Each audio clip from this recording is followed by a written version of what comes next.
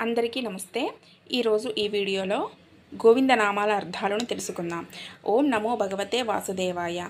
వడ్డీ కాసులవాడ గోవింద. అంటే లోక కళ్యాణార్థం ఋషులు యజ్ఞం చేస్తూ యజ్ఞ హవిస్సును ఎవరికి సమర్పించాలి?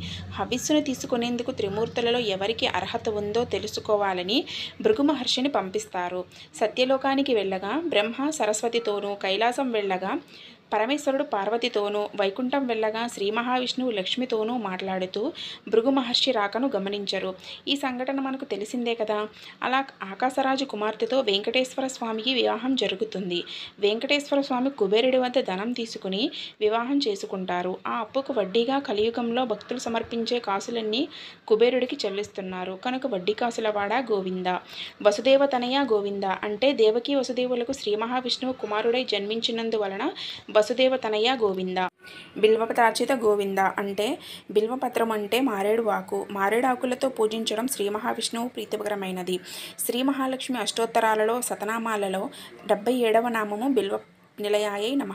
అంటే బిల్వ దళాలలో శ్రీ మహాలక్ష్మి ఉన్నది కనుక శ్రీ మహావిష్ణువు బిల్వపత్రార్చిత గోవింద అంటారు. భిక్షుక సంస్థత గోవింద అంటే భిక్షక వృత్తి అంటే పూర్వకాలంలో గురుకులంలో విద్యను అభ్యసించే శిష్యులు గ్రామాల్లోకి వెళ్ళి భిక్ష తీసుకొని ఆ వచ్చిన ధాన్యంతోనే ఆ రోజు ఆహారాన్ని తయారు చేసుకుని జీవించేవారు. అలా ఆ మహర్షులు జీవిస్తూ లోక కళ్యాణార్థం తపస్సు చేయడం నిరంతరం శ్రీహరిని ధ్యానిస్తూ శ్రీహరి కథలు వింటూ ఆయన గీతాలు ధ్యానం చేస్తూ నిరంతరం శ్రీహరి నామ జపం చేస్తూ గడిపేవారు. అందుచేత భిక్షుక సంస్థత గోవింద. స్త్రీపం రూప గోవింద. స్త్రీ రూపం ధరించిన పురుషుడు. మోహిని అవతార కథ మనకు తెలుసు కదా? అలా శ్రీహరికి ఆ పేరు. శివకేశవమూర్తి గోవింద. శివుడు అంటే శంకరుడు. వారిద్దరికీ తేడా లేదు. అందుకే శివాయ విష్ణు రూపాయ శివ రూపాయ విష్ణవే. శివస్య హృదయం విష్ణు. శి విష్ణుశ్చ హృదయం శివ అన్నారు. కనుక శివకేశవమూర్తి గోవింద.